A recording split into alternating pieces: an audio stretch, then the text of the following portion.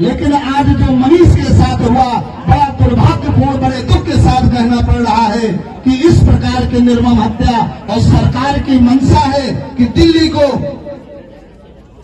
ऐसे आधिकारियों मलेच्छों के द्वारा ऐसे निर्मम हत्याएँ कराई जाए, क्योंकि उनके तो एक नहीं, अनेक हैं। वो तो चाहते हैं कि एक नहीं, चौदह शादियाँ करेंगे, चालीस पैदा करेंगे। तो हम सब भी इस पर ध्यान दें। इनको चुन चुन के मारने का कार्य करें। आज हमारी आबादी, हमारे कौशल, भाई जानते हैं।